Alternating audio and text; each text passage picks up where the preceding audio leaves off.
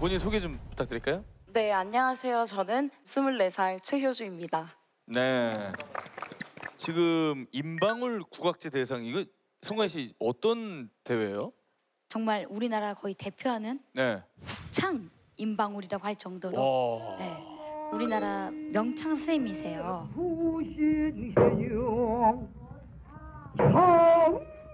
옛날 시대 일제 강점기 시대에 어. 앨범이 무려 100만 장 이상 팔렸다고 합니다. 밀리언셀러네. 네. 와. 이 대회에서 상 받았다고 하면 인정해주는 그 정도 수준의 그러니까 어, 전주 대사습놀이 네. 동아 콩쿠르 대회 임방울 대, 대회 3대 메이저 대회군요. 네.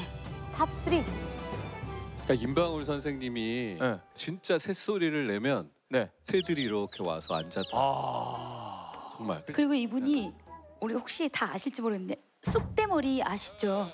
모르겠어요. 무슨 노래 무슨 송가인 노래죠? 씨가 조금만- 쑥대머리가?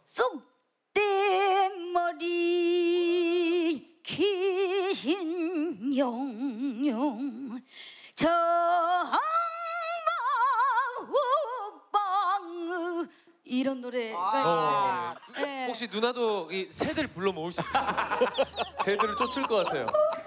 그러면 이제 그 판소리 언제부터 배우신 거예요?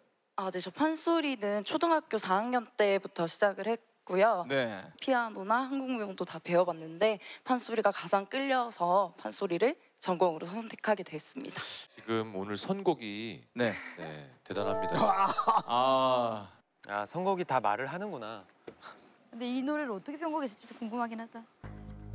제가 할 수 있는 이제 다양한 모습을 보여드리려고 퍼포먼스도 좀 크로스오버로 좀 다양하게 준비를 했거든요. 솔라 심사위원님이나 우영 심사위원님께서 조금 더 저를 좀 유심히 지켜봐 주시지 않을까 기대하고 있습니다.